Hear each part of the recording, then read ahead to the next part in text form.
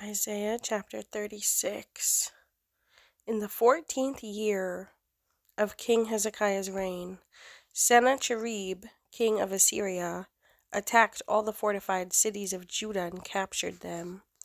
Then the king of Assyria sent his field commander with a large army from Lachish to King Hezekiah at Jerusalem.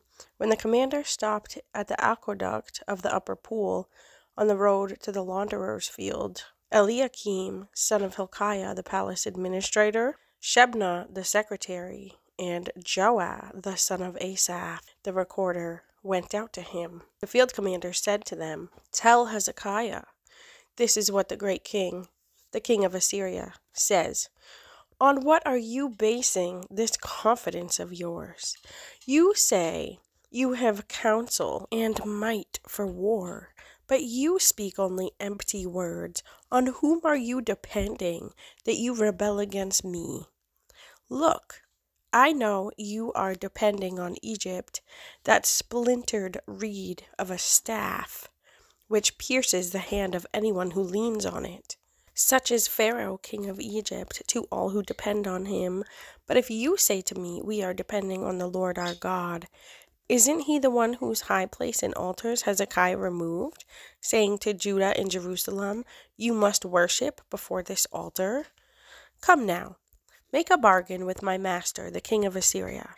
I will give you two thousand horses, if you can put riders on them.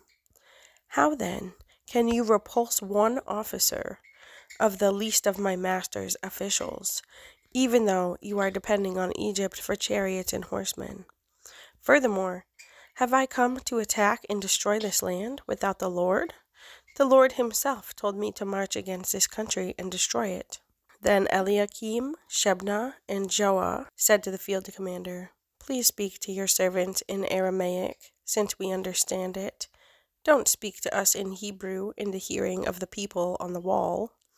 But the commander replied, was it only to your master and you that my master sent me to say these things, and not to the people sitting on the wall, who, like you, will have to eat their own excrement and drink their own urine?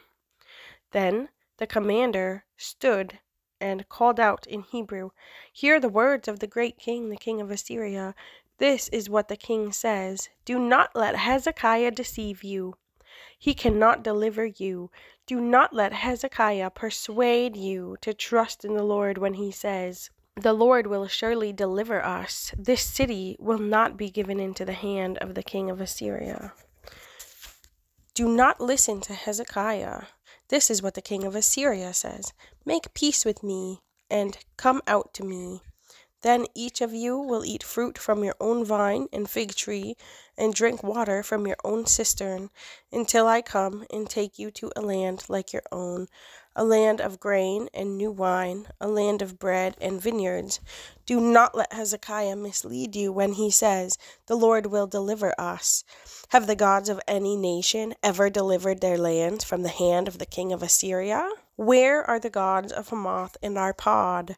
Where are the gods of Sepharvaim? Have they rescued Samaria from my hand? Who of all the gods of these countries have been able to save their lands from me?